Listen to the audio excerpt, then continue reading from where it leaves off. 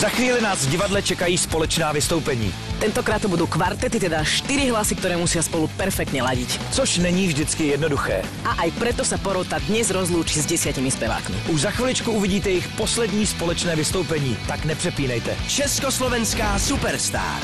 Už za chvíli.